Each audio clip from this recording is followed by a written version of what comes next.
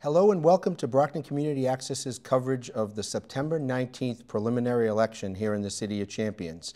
We're starting out with Ward 6. There are three candidates running in Ward 6. Um, John Drusinskas, Joanne Zygmunt, and Jack Lally. Um, joining me tonight on the panel are Steve Foote, the former chair of the Democratic City Committee, but announcement, he's now an unenrolled voter or independent voter.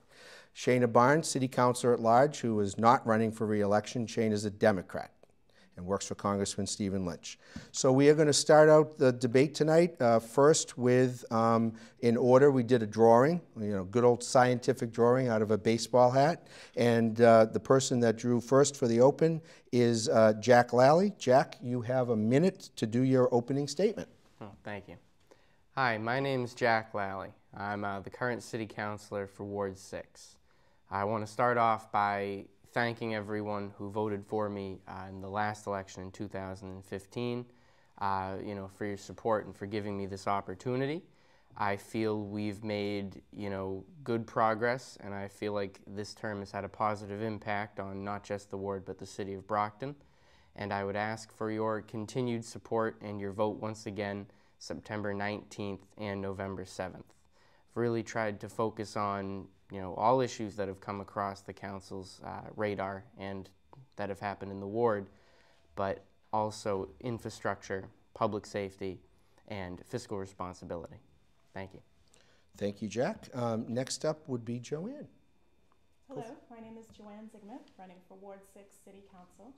Um, I have a long background in nonprofit and business development. And I feel like what we need on the City Council and for our ward in particular is some new and creative ideas that maybe are a little bit untraditional. Um, and I feel like I can bring that to for Ward 6 to the City Council. Um, thank you, everybody, for hosting me, having me here this evening. Thank you, Mark. I'm excited to be here. Um, Ward 6 has been my home for over 30 years. Um, grew up in the village, now live closer to the Brookfield School. Um, I went and um, got a BA in political science and a master's in urban development. So I feel like those things as well I'll be bringing to the City Council. Um, and we'll be talking about the issues this evening. We're probably going to touch on development, which is a big issue for me, making sure residents have a say in that. Um, money and transparency is a big thing for me too. Um, and I'm sure we'll cover all of that. Thank you. Okay, and uh, John Drusinskas. Thank you, Mark. And um, I also like to echo my, my opponent's uh, thanks for hosting this, uh, this event. Uh, my name is John Drusinskas. I'm also running for Ward 6 Councilor. I am a uh, lifelong uh, resident of Ward of the village section of Ward 6, a longtime homeowner. I'm a retired retail store manager. I can put 100% of my free time into this, um, into this job, and it is a full-time job despite what people think. Um, there's a lot involved with it. Um, I think uh, we need better representation in our ward. Um, I don't believe we've had that the past two years. I think um, my background, uh, both in volunteerism and in community involvement, and my life experience speaks well for uh, the qualifications for this job. So um, I respectfully ask for your vote September 19th and hopefully uh, beyond that on the general election on November 7th. Thank you all for the opening statements. So I'm going to start right, we'll get right to the questions, and the first question will come from Steve Foote. Okay, uh, as you're all aware, I'm a 60-year resident of Ward 6, and uh, even though you're running it for the Ward 6 council seat, most of your votes are going to be taken on issues that affect the city as a whole. So I do have a couple of questions about Ward 6, but I do have some questions about the city as a whole, and I'm going to start with one of them. Would you vote to ignore federal law and make Brockton a sanctuary city? Why or why not? Okay, and I'm going to start in the reverse order that I did um, from the uh, opening statement. So that would be um, John first. Okay, sanctuary city, Steve, uh, is is a federal issue as far as I'm concerned, and uh, to bring illegal immigrants into the city uh, does not bode well for us. Um, you know, there's, there's the possibility of added crime. Um, I would probably at this time vote no for a sanctuary city, um, and that would be my reasoning. Um, you know, bringing illegal uh, illegal aliens into the city. Uh, some of them maybe uh, have a criminal background. I would probably uh, I would probably vote no. Okay, next would be, um, let's see, I did one, two, three, so I'm gonna have Jack do second. All right. I am a no on that. The issue came up while I was counselor, uh, and you know I've got I've gotten many many calls from Ward Six residents unanimously opposed to the matter. Uh, it's not something the ward wants, and truth be told, it's not something I want either. We risk increased crime. We guarantee the collapse of the city's government through, you know, just a complete withdrawal of funds. Under this president, uh, the school department would lose upwards of $20 million immediately. And if you can save $3 million by shutting down a school, imagine how much money, you know, ima- imagine, imagine how much cutbacks and how much losses we would be hit with. The issue is, you know, it's, it belongs at the federal level. You know, it, does, it doesn't belong at this level, but if it does come in front of us, I'm voting no. Thank you all. Okay, uh, I'm sorry, Joanne, let me, I'm just trying to get ahead of myself, I apologize. Go ahead, Joanne. Uh, my vote would be a no as well. Um, I believe that anything that jeopardizes the financial stability of the city is something that the city council is responsible for voting no on. Um, and therefore, because as Jack's pointed out, we could lose federal funding, um, I would vote no on that issue. Okay? No follow-up required, I think we got that. Everybody is a no. So let's go to Shaynah's first question. Thank you, and thank you, candidates. Um, I do have a question, and I come from a different perspective. Being a, a current counselor, I've actually seen the work that Counselor Lally has done in Ward 6. So I wanted to ask, uh, I guess, focusing this question on um, Mr. Drusinskas and Ms. Zygat? Zygmunt. Zygmunt, I apologize. We're going to have to do that again. Um, so with McKinley Park, particularly. So um, you all, I'm sure, are aware of the funding that um, Council Lally has just secured from the Patriots organization, uh, the Kraft organization, to uh, add some different apparatus in there, some other state funding, just for the general redevelopment of that particular park. Um, what would you do different to the design of the park? Um, it, it, question, I guess, one. Question 1A is Do you think the design now is an open, friendly, welcoming uh, kind of design for the residents of Ward 6? Ken, I'm going to start with Joanne. Uh, I think there's a lot more we can do with that park. Um, I grew up in that park, um, played basketball very, very poorly in that park. Um, but I think that in addition to the new basketball court that's there, um, I think that, and the PlayStation, I guess you would call it for the kids. I don't know what you refer to it as. I think what would be excellent would be to look at seeing if we could do a um, community garden. There's a big plot sort of on the eastern side of that park where a lot of sun shines, so we can do community gardening there, I think is one idea. Um, I know speaking to residents in the area that there's an accessibility issue with getting into the park. Both those roads on either side are very busy. I would love to see a blinking light or a speed bump, um, or look what we can do to improve access to that park more generally. Um, but also, I would like to, if I get elected, I'd want to reach out and actually talk to folks and see what they want. Um, basketball is not a sport for everybody. Um, community gardening isn't something for everybody. Um, so I think we could do a lot of creative things, but I think it's important to get the community involved as well and hear from them. Okay, John?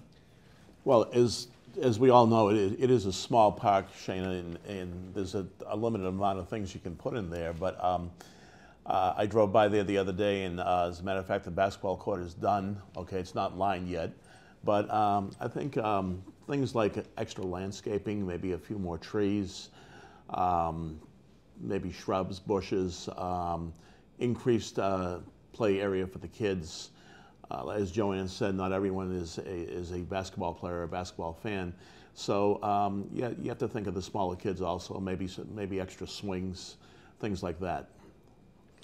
Okay, thank you.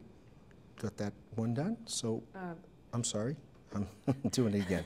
I circled it too, and I said, Jack, I didn't want to mess up. Uh, I'm not doing well tonight. Uh, Jack, eh, well, you directed it to the two of them. That's we're Oh, trying yeah, to do on. to them, okay, but so I, I did want to go ahead, Jack. hear what Jack's plan is. Truth be told, I don't know. I don't know uh, how I could how I could beat Councillor Lally on that, but uh, um, I do I do have to say the money that we've received for this park uh, and for the playground is all grant money. So and it's for a very specific item. When the city receives grant money just aimed at a park, uh, we received $400,000 for Walker's Playground uh, before, it was around December, right? Counselor? Yeah. Yeah. So when we received that money, we, uh, you know, we accepted the money and then there were meetings about what to do with the money and the, you know, the residents are brought in and things like that. Uh, if we get money like that, if we have the opportunity to, you know, really start transforming the look of the park, I'll be out there with letters myself letting them know. Uh, in terms of traffic, we're working on public safety and making sure kids are safe, not, around, not just around the park, uh, but in the park as well. Okay. Thank you. Oh, Can I just make a correction? So my understanding, and I just want to put it on the record as well to recognize everybody equally. Um, my understanding was that the city did pay 10,000 for the basketball court, and that the state money was about 35 grand. So just a correction on that. Do you want to respond? Yep. And in addition to that, the um, the uh, the Brockton Redevelopment Agency, the BRA, uh, is contributing fifty thousand dollars to the playground. Yes. For the Uh, I I should I should have clarified. This i- I'm talking about you know a certain amount of money aimed at you know money with no particular construction in mind. Just we have this money. Wh- what would you like to see it spent on in this park? The money for the basketball court and the money for the playground were sent to that. They were earmarked for that, and it's specific items. John, do you have anything to add? Yeah, um, one thing I'd like to add, there's been some talk about fencing in the park, and I think that's a bad idea. It, uh, it, it creates the, the, the notion that um, the park is not accessible to everyone. I like Joanne's idea of uh, perhaps, um, you know, speed bumps around the park or, or, or um, uh, traffic lights or things like that, but um, fencing in the park I don't think should be an option. Okay. thank you. Going to move on to Steve's next question, and uh, I'll direct it first to Jack, then Joanne, then John. Uh, The council has uh, explored using the uh, Mass Water Resource Association as, uh, agency rather, as a secondary water source and found that that's extremely costly. Would you support the mayor's proposal to buy the Aquaria Water Facility to cure Brockton's water compliance problem? John first. I mean, Jack first, I'm sorry. All right. Um, the Aquaria facility provides us a lot of opportunity. Uh, the patch of land that it is on that we would be buying has space enough for a second Aquaria plant and all the, you know, all the necessities. Uh, we could be looking at, so, you know, right now it's capable of producing uh, only a couple million gallons, but we're looking at over 10 million gallons if you actually put both of those plants in. The problem is the expense. Buying the plant right now as is is quite a bit of money, and we would be, you know, paying these employees. Uh, you know, but that's the, you know, that's the question. It's, it does seem to be a better option than the MWRA. The prices the MWRA quoted us at the city council meeting were prices for right now. We don't have, we, we have another 12 years before we would be signing anything with the MWRA those prices would, would explode. And that's, that was just the price for piping. We have to pay to go through everybody's yard, pay to go through different towns, pay for the water. The uh, cost would be extraordinary. So you would favor the mayor's plan? I would like to see if we can get the price lower, but Aquaria seems to be the better option for right now. Okay, Joanne? So I've worked in the water sector for over 10 years now, so I'm quite familiar with desalinization um, and water supplies to urban areas in general. My concern is that nobody's really taking a long-term view on the security of the water supply in Brockton. There's no question that we need a second source of water. There is not enough water in Silver Lake to sustain the city, especially with the kinds of development that we're talking about. But nobody has actually sat down and compared all the options. So people at the moment are comparing pineapples to steak subs, basically. Um, nobody's looked specifically at the cost benefit analysis of the MWAR, MWRA option under the scenario where we would partner with Weymouth and Union Point and try and reduce our costs and split the need to connect into Braintree halfway with them. So if you look at the cost benefit of that scenario in particular, that all of a sudden looks a lot more favorable than just looking at MWR in general. So I think we need to do more to look at what the options are across the board and what's best for the city in the long term. So you would support the mayor's plan? I would support whatever's most cost benefit beneficial, and at the moment I haven't seen mm-hmm. a solid case either way.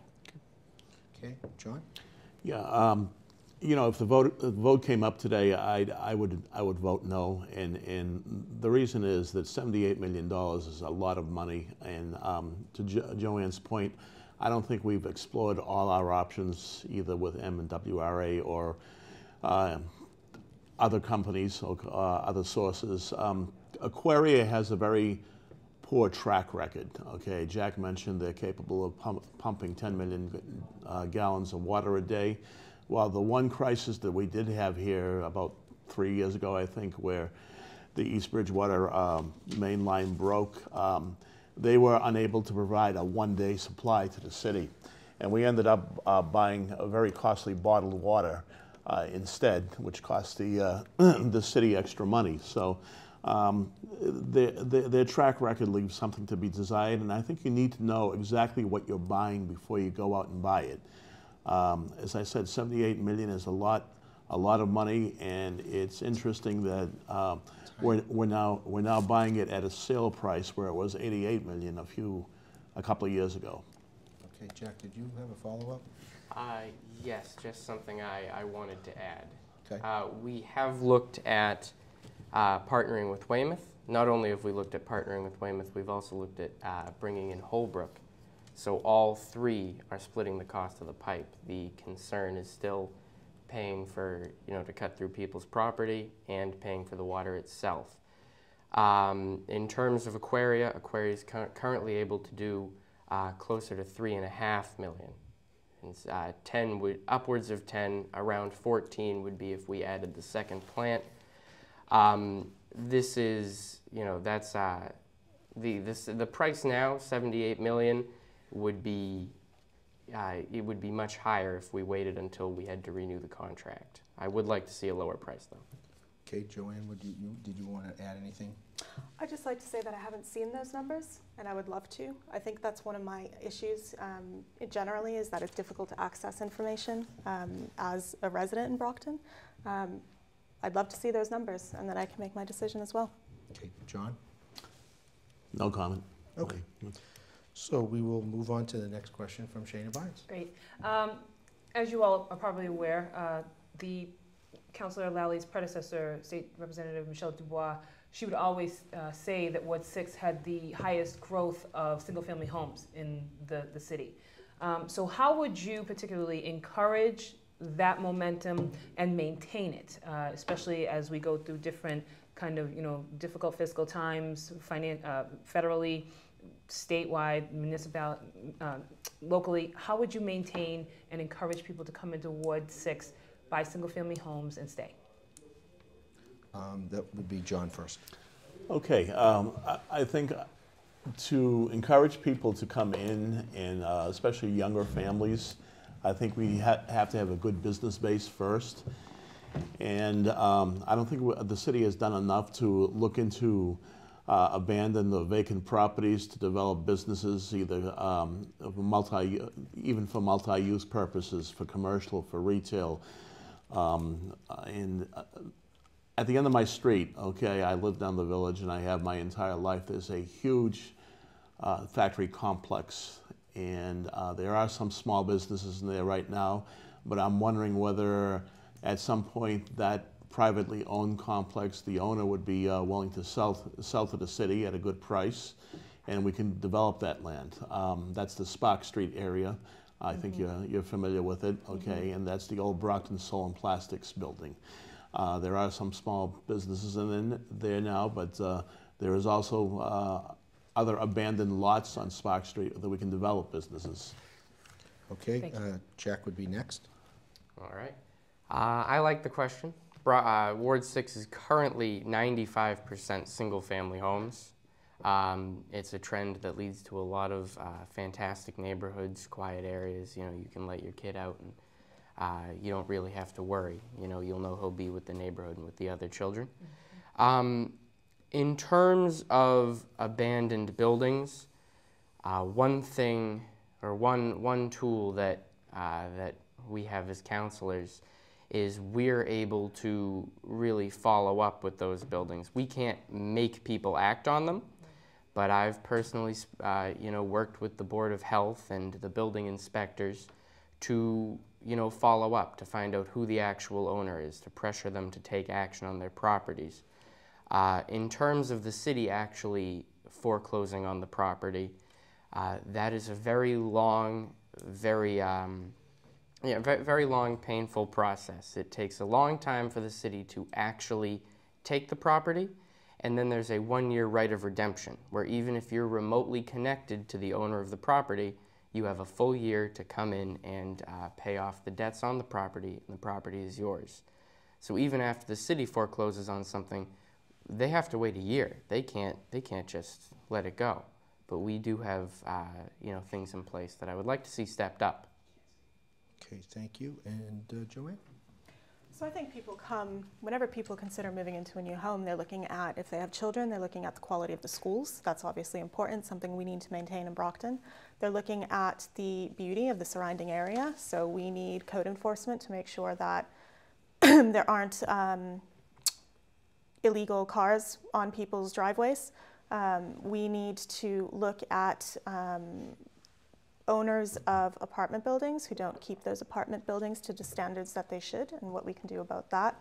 I think those sorts of things are the things that families look for, as well as the parks too. Like people want places where they can go out, dog park, children's park, basketball court. I think those are all important. Okay.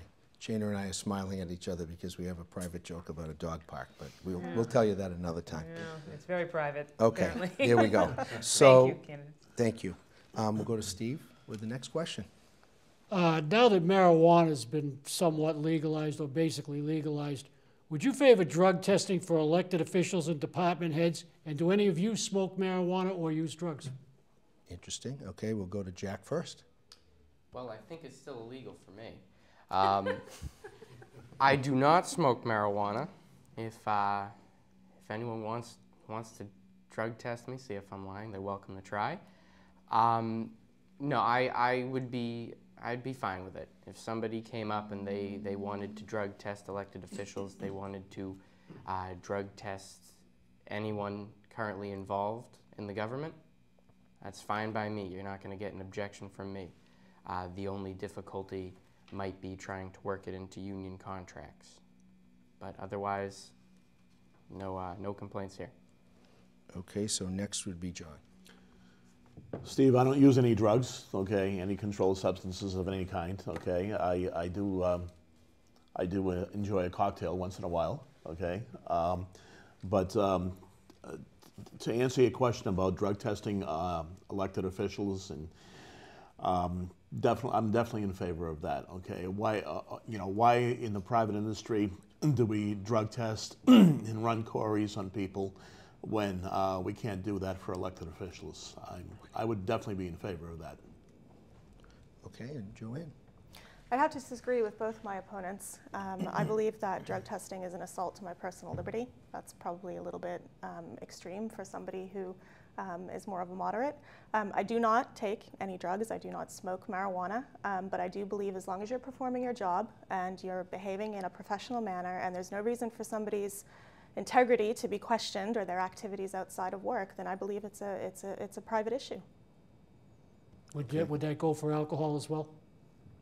If you uh, if it's social drinking that's not interfering with your work, that should totally be reasonable.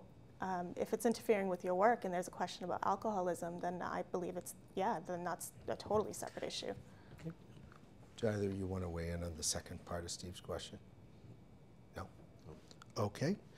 so we will go over to Shaynah's next question. No, I, I have, actually have a question for you. So I have one particular question for each of them. Could I do that instead of have, asking one question for all three? Um, No. Haven't done that before. I'm here to shake it up. Um, what about, do you folks object to that? I have no objection. Fine. Okay, then we'll do it. Okay. Yep. Um, do you want to call the, who's first? Um, first would be Joanne. Okay, so uh, Joanne, in your literature, um, you say it's time for action. Um, y- that's your slogan. So, what inaction are you referring to of the current counselor? So I'm not referring to a specific inaction. I'm saying that I think there's more we can be doing. Um, for example, we are currently looking at um, turning private roads into public ways. I believe that we can look at some of the other cities that have looked at streamlining that process to make it quicker and easier to do streets in bulk as opposed to one on one on one. Um, I think that we can do more as well to um, build collaboration between the departments so that we can get stuff done in Ward 6, like the parks and playgrounds. It's been, like I said, I've lived in Ward 6 over 30 years, and only now the park's getting improvements. Um, so it's not a specific inaction on Jack's part, but I believe we can be doing more and we can do, be doing better than we currently are. You, want- I'll let you respond. I just wanted to touch upon the private way thing because I know you know I've been talking about it. People have been talking about it. Uh, Ward six currently has uh, around 72 private ways, a little more, a couple streets more. Uh, the reason they're not done in bulk is partial is uh, basically uh, financial. In order to become a public way, there needs to be an accepted street plan on file.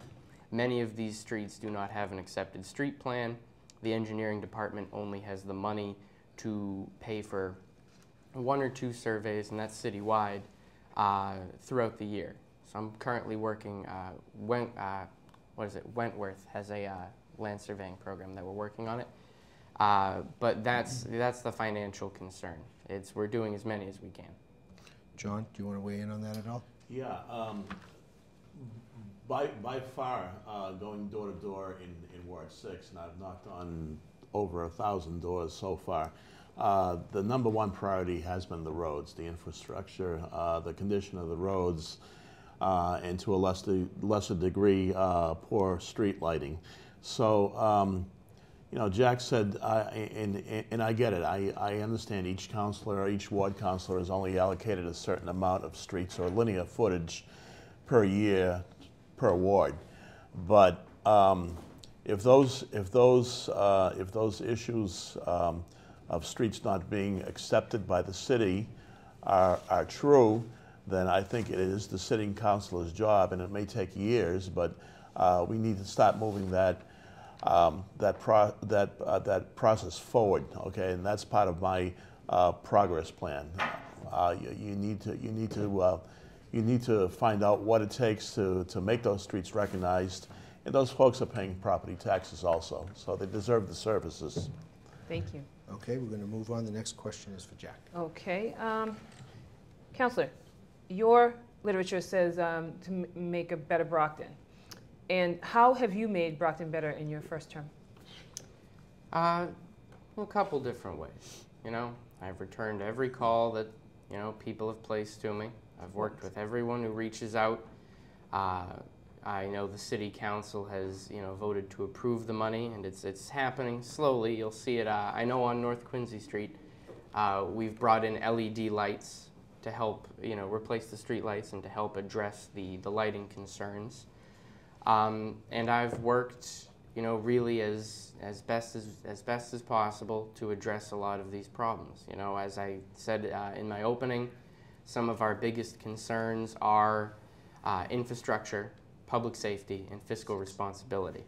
Uh, the more roads we make public, the more mileage of public ways the city has, the more money we get from the state and federal government to pave roads.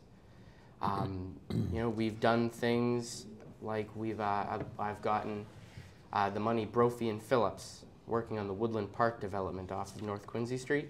Uh, they'd promised money for a playground 16 years ago. We got them to pay for it, and uh, I hand these out to everyone I see. Uh, and don't hesitate to call me if you have any questions. Great, thank you. Okay. And uh, Mr. Druzins- um, you mentioned in your opening statement that uh, you need, we need better, that Ward 6 needs better representation. What has your, or what has Councilor Lally been lacking in his representation of the people to and on the council thus far? Well, um, one problem, okay, just to um, negate what he just said about returning every phone call. I've talked to several people where uh, they have reached out to the counselor and uh, he has either not returned phone calls um, or um, or has taken a long time to return them. Um, one specific example is uh, up on Sully Road in Brookfield. There was an illegal asphalt uh, operation going on, and um, I guess several residents, according to what I've heard, ha- uh, called the counselor. I don't know whether he returned the phone calls or not in that case, but uh, nothing, nothing got done as far as that illegal um, asphalt operation out of a private residence. And finally, uh, Councilor Lodge, when, when Farwell stepped in, and you know, within a week, uh, the operation ceased. So, Jack, I'm going to give you a chance to respond to that. Thank you. Um, only one call was uh, placed during that entire interaction, and that was me calling one of those neighbors. I did not receive any calls about that. A lot of the work was done through email. Things take a long time, uh, especially when it comes to businesses operating inside of a residential home, uh, which I'm sure I'm sure you know, counselor. Uh, so I got the ball rolling on that, and we got that started a long time before anything even anything even took effect. Um, I know I know what you're talking about. I know the area you're talking about. Uh, for the same reasons that they require a lot of evidence before they shut that down. Uh, you know, the same same reason they require that is the same reason they're not kicking your door down and busting you for uh, an asphalt development company. I don't have one. Well, that's good to know. Yeah. Otherwise, I'd have to call code enforcement. Um, yeah, no, it's it's uh, it, it took a while, and it started going, and the the the call, Councillor Farwell, of course, is very very strong on code enforcement. Uh, was a big help, but the timing, I would Time. say, was more coincidental. Time. Thank Okay. you. Thank you very Um, much, I'm Mr. just gonna- Moderator. I'm just going to let uh, Joanne add if she wants to sit- address that issue at all. Nope, I'm Okay. okay. Okay, so we are going to go to Steve. Okay, this isn't so much of a Ward Six issue as it is an issue right here where we are now, in downtown Brockton. Brockton has a homeless problem. And the shelters and centers for the homeless that we have now don't address the problem because most of the homeless people are addicted to either drugs or alcohol, and you have to be sober to get into these shelters and uh, these programs that we have, the, the uh, different uh, overnight housing. You have to be sober to get in. They don't want to sober up, so they don't get in, so they sleep outside.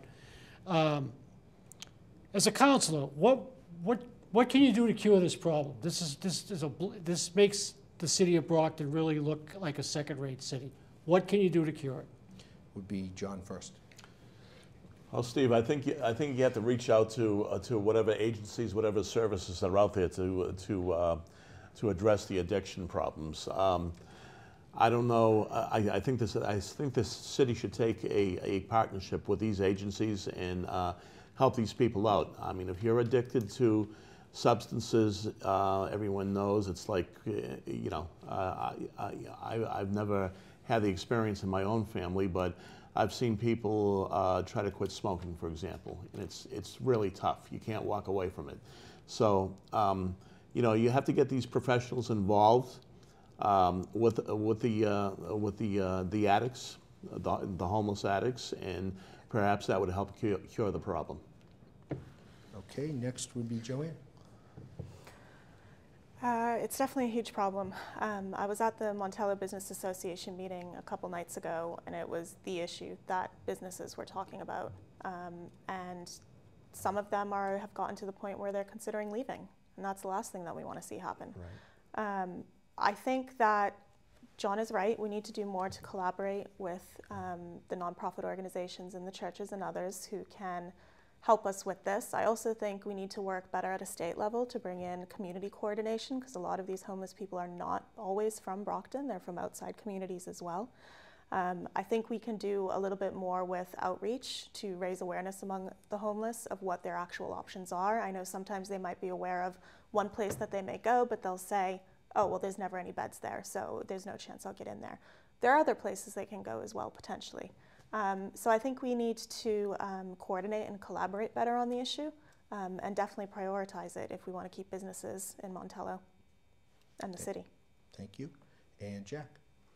Uh, right off the bat, up, uh, upwards of 50% of all drug crime committed in the city of Brockton, you know, all arrests made, uh, upwards of 50% of people arrested are not from Brockton. Brockton is used as a center point. I mean, uh, you know, you your deal is in Stoughton and you're in Abington. What a you know, where, where else are you going to go? You're going to meet right in the middle. Um, the city has a, a program called the Champion Plan. If you need help, if you have an addiction, and uh, and you've reached the point where you know you you want you want to fight this, you need help, uh, you can go to the police station, and you know you say you're here for the Champion Plan. Uh, Brewster Ambulance will take you to a facility, and a volunteer will sit with you until uh, the city and the volunteer agencies that we work with uh, find you a bed in a treatment facility. Uh, more needs to be done about the drug addiction and the homelessness, and you know we're we're searching every avenue for help. Uh, all the answers that the three of you just gave all assume that the people want help. I'm going on the assumption that they don't want help. They, they, they like doing the drugs, they want to keep doing the drugs, they like being drunk, they want to keep being drunk. But they're still out there and they're still sleeping on the streets. What can we do to people who will not accept treatment? Okay, we got to be careful with time. 30 seconds each. Um, John first. That's a real tough question, Steve. You know, I, I, you know, at that point, I think you'd have to get law enforcement involved to to move these people along. Um, you know, addiction is a tough thing. Um, an addict would the, the, the steps an addict would have to take would would be uh, he or she would have to would have to admit they have a problem first, and if they don't admit they have that problem, then you're sort of at a dead end. Your, your options are really limited as far as uh, getting the people off the street. Okay, uh, Joanne. Uh, definitely a tough issue. Um, I think law enforcement does have to play a role in keeping these people moving along, um, but I think we can also make it less hospitable for them to remain where they are. A lot of them, for example, by Park, Speed, Park Street under the bridge, um, sleep there because it's nobody goes there. There's no pedestrians. It's quiet. It's dark. The lighting is bad. The street's not great we improve that, there'll be more traffic, there'll be more people. They might want to find someplace better and quieter for themselves. Jack. Yeah. Uh, I agree that you know we need to at least you know keep people moving. The you know the area around North Main Street where Father Bill's is is a mess. You know, you take somebody down there, they're not going to want to come back to the city. Uh, we've reached for the first time in a while uh, 200 officers in the Brockton Police Department. Uh, the district attorney has moved his office, uh, and we've got an additional 25 state police officers. Uh, we need to keep up the pressure, walking beats, community policing, and clean up the street. Time. I can't. I have a question. No, I can't. We got to do closing statements. I have a question. I just wanted to share with them one more thing about that homelessness. I need the time for the. I'm sorry. Um, so just real quick, reminding everybody that there is another candidates forum that's going to happen Monday night, September 11th at the Ashfield School with these three candidates. I will be the moderator. That will be with people in the audience. Okay, I got closing statements to do so we can do the 45 minutes. So the way it was the way it was drawn was John was first, and you have up to up to two. Okay, thank you. Uh, once again, my name is John Drusinskas, and I'm running for the Ward 6 City Council seat. Um, I think, first of all, I want to say that it's very important that uh, you vote in the preliminary election uh, September 19th. A lot of people don't think a primary or pre preliminary election is very important, but it is in this case. As you can see, there's three candidates here, and the top two go on to November 7th. So um, I think my, my background uh, with, with life experience and uh, with volunteerism in the community and the uh, many volunteer groups and uh, civic and community and church groups that I belong to uh, play into into being a good counselor. Um, I just consider the the uh, counselor's job as uh, an extension of my volunteerism. So I respectfully ask for your vote um, on September 19th and hopefully on November 7th. Thank you very much, Mark, and uh, thank you, Shaynah and Steve. Okay, and number two is Jack. Well, I uh, you know, want to thank everyone again for the support I've received so far, both at the door and at the ballot box before.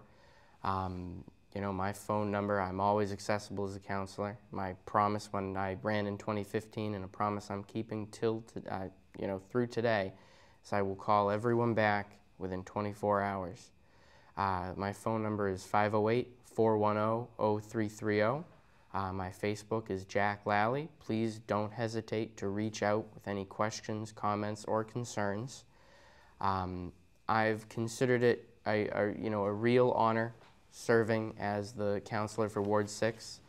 Uh, I feel we've you know, made good progress. We've achieved a lot. Uh, we've paved you know, quite a few, uh, well, usually counselors get one road a year paved. We're on pace to do four in two years. Um, I've also been endorsed by the uh, Brockton Firefighters Local 144. If anyone has any questions, you know, please don't hesitate to reach out. Thank you for your support, and I uh, hope to have your vote. Thanks, Jack. And Joanne? Hello, everyone. My name is Joanne Zygmunt, again running for Ward 6 City Council.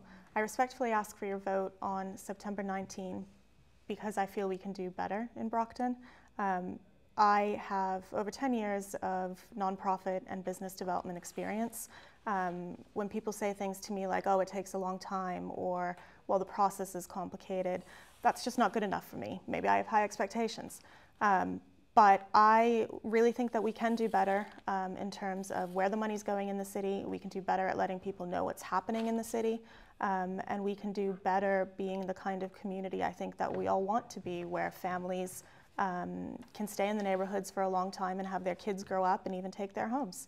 Uh, I do have a website. It's joanneforbrockton.com. That's J O A N N E for brockton.com. Um, and you can also reach me anytime on 508 521 9891. I'll be happy to answer any of your questions. And I just want to thank everybody for hosting and moderating this evening. Thank you. Thank you. John? I just, Real quick. uh, it's going to be quick. I forgot to give my contact information. Do it. Okay. Uh, my phone number is area code 508 586 8599. Uh, if email is more convenient, it's johnd27 at verizon.net. I do have a Facebook page. Uh, my website is, is under construction right now. Uh, I'm revising it and updating it. Okay. And Thank you didn't use all your time, so that's just fine. Shaynah, I, I have a, a- like a couple of seconds if you wanted to say what you, Oh, yeah, it was just a statement, just about the homelessness. It's just, it seemed like a lot of the correlation was homelessness and addiction or drugs, but also a lot of people are homeless due to mental health issues. So I just wanted to put that out there as you all develop your plan and attack this issue. Think about that as well. Yep. Okay, and I have less than a minute, so I just want to thank all the three candidates in Ward 6. Uh, Ward 6 uh, continues to have the tradition from the last election of being very civil. And I look forward to seeing the three of you on Monday night, and uh, we'll also be there to record that as well. So thank you for participating, and thank you all for putting your name on the ballot. You're watching Brockton Community Access. Uh, stay tuned for more debates. We have the Ward 3 debate, the Ward 4 debate for council in the preliminary, and then we will go on to the general election. Do not have a city councilor at large preliminary. We will do that. Uh, this time it's eight, less than 16 in the studio, so it'll be a lot more fun. And then we'll have candidates for mayor a- as well. So stay tuned for Brockton Community Access channels 9, 12, and 98. And thank you to my two panelists. Have a good evening.